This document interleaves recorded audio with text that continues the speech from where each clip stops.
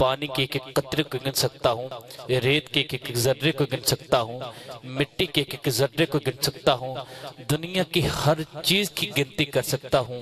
میرے اور آپ کے کریم لجپالا آقا نے فرمایا کہ جبریل کوئی ایسی چیز ہے جس کی تو گنتی نہیں کر سکتا۔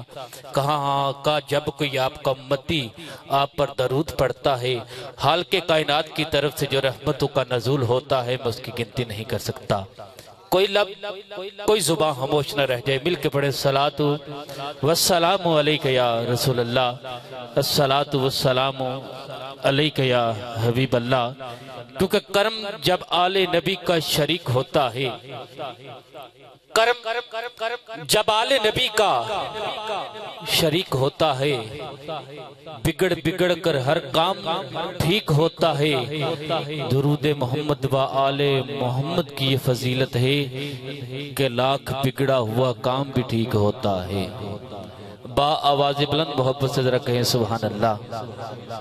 سبحان اللہ تے نہ کو ہرچے، نہ پرچے، بلکہ رب کائنات دی بارگاہ وچ چرچے۔ مل کے ذرا محبت نہ کو ذرا سبحان اللہ۔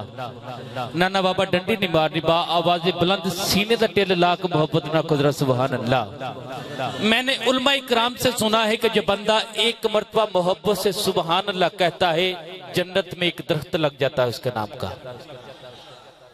نامہ ایمال میں دس نیکیاں لکھ دی جاتی ہیں اور دس گناہ مٹا دیے جاتے ہیں۔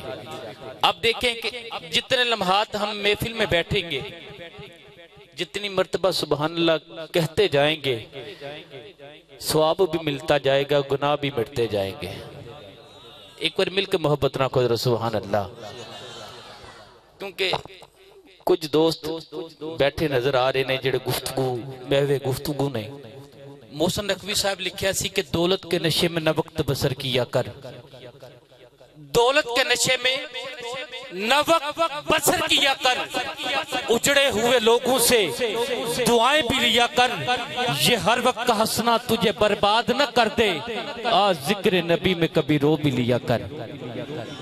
باواز بلند محبت سے ذرا کہہ دے سبحان اللہ اینجنی یعنی سجا ہاتھ بلند کر کے کوئی لب، کوئی زبان حبوش روے مل کے محبت نہ کو ذرا سبحان اللہ پھر ذرا محبت نہ کو ذرا سبحان اللہ سامعین گرامی قدر آج کی اس خوبصورت محفل میں ہماری محفل کا حسن، پیر طریقت، رہبر شریعت، اولاد نبی، اولاد علی جگر گوشہ بادول پیر سید امتیاز حسین شاہ صاحب آستان علیہ ڈیرہ جوئیاں آپ تشریف فرما ہو چکے۔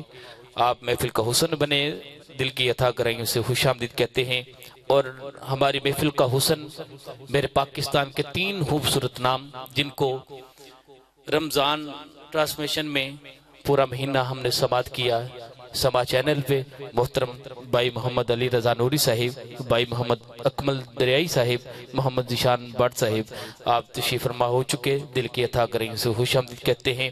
اور جامع مسجد گلزار مدینہ حکیم پور اور اس حکیم پور کی پوری بزم کے جتنے رکن ہیں، اس گاؤں میں رہنے والے ایک باسی کو مبارکباد پیش کرتے ہیں کہ جنہوں نے آج کی رات اس خوبصورت محفل کو سجایا، حق پروڈکشن شہر گجرات سے۔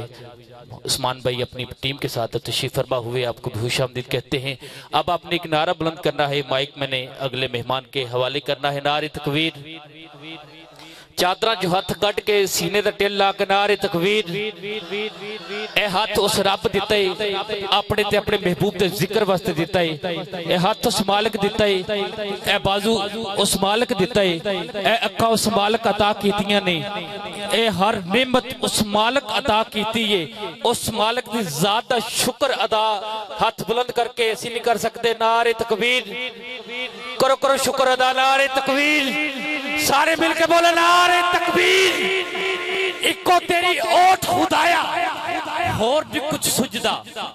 اکو تیری اوٹ خدایا اور بھی کچھ سجدہ۔ مالکہ جس دا دیوا تو آپے بالے او قاتل کسے کل بجدہ ہاتھ بلند کر کے نعرے تکبیر۔ نعرہ رسالت نعرہ رسالت پہ دولو ہاتھ بلند ہو جائے۔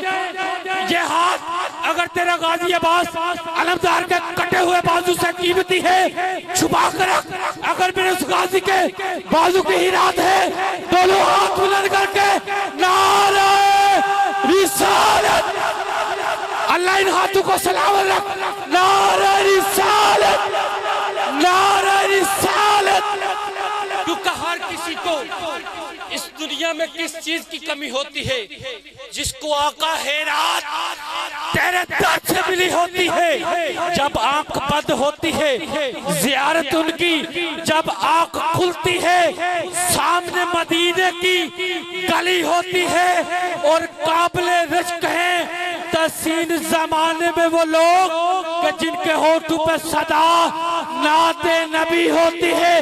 نعرہ رسالت نعرہ رسالت۔ دوے حجوں کا نعرہ۔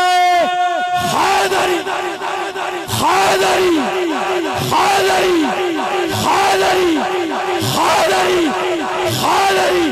نعرہ تحقیق۔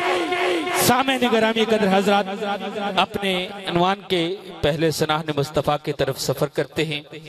گزارش کروں گا، محترم بھائی محمد اکمل دریائی صاحب سے تشریف لائے اور کریم لجپالا کا کی بارگاہ میں ہدیہ نات پیش کرنے کی سہادت حاصل کریں۔